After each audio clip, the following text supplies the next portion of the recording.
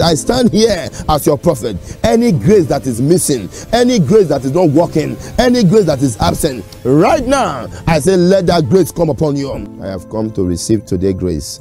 Father, give it to me. I need today's wisdom. I need today's strategy. I need today's favor. I need today's connection. I need today's healing. I need today's deliverance. I need today's understanding. Talk to Jesus this morning. Father, I need today's grace. I need today's grace. Father, give me the grace. Give me the strategy. Give me the wisdom.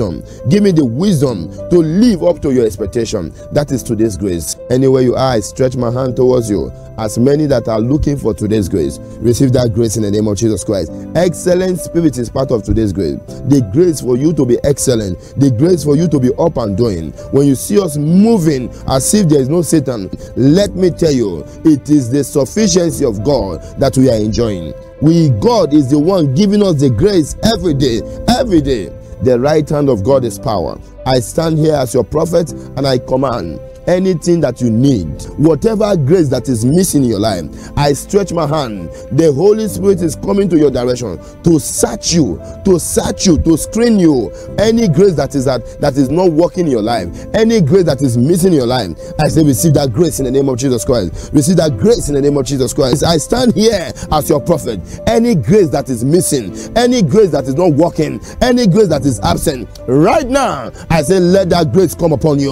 Oh yes, you can be a Christian with one grace. You can be a Christian with two grace. You need all graces to be abound towards you. Any missing grace, I say receive it in the name of Jesus Christ. Receive it in the name of Jesus Christ. When this grace come upon you today, you will not be ordinary person again. Right now, as this grace is coming, this grace is coming to change your life. Now you're about to receive a grace that will make you extraordinary. That will make you extraordinary. Let your story change with this grace. Let your story change with this grace. I am your prophet. I am sent to you. I speak to you as one who is ordained by God. I am not ordinary at all. I speak to you. I say that grace that is not a work in your life.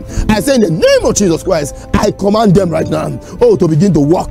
I say begin to walk in your life. Um, let healing begin to walk in your life. Let miracle begin to walk in your life. In the name of Jesus Christ, receive the grace and the gift of men.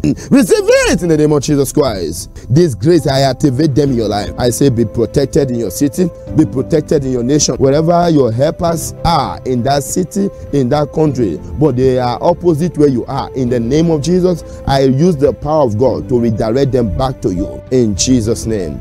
Amen and amen and amen. You are totally blessed today. You and your household. You are loved by God in Jesus' name.